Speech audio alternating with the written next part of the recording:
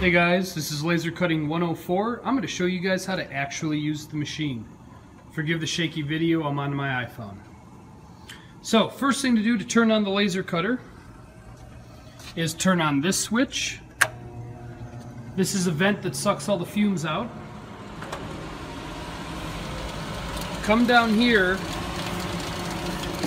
way deep down if you find the power cord, right in front of the power cord is an on switch. It's on. Come over here, turn on the air assist. That shoots air down through the laser beam to keep it clear. And then this is TH Tech Laser Zero. If this computer's not logged in, don't use your login.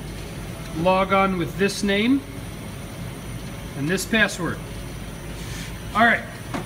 Anything that you guys sent to print, remember you put it in the laser cutter folder. Here it is. Come down until you see Wilson, if that's the teacher you're working with. And your file will be in here. If you go down all the way to the bottom, you'll see the video from uh, a lot of files in here. Here's a video from Laser Cutter 103, Wilson wheel. Now, to print, we need material.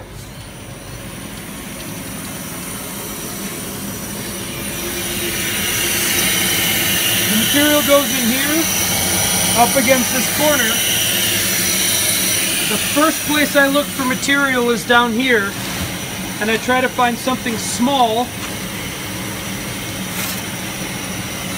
that will fit my part. Put the material in there. I can see that I have 8 inches by 8 inches to work with.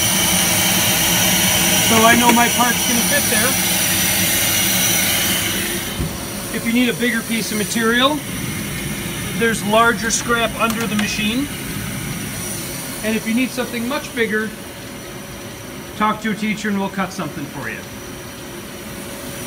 All right, quick review. One, two, three,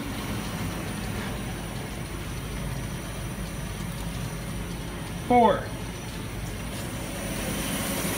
Load your material and then follow the video steps in Laser Cutting 102 to know how to set up the machine. Good luck guys and always be willing to ask for some help.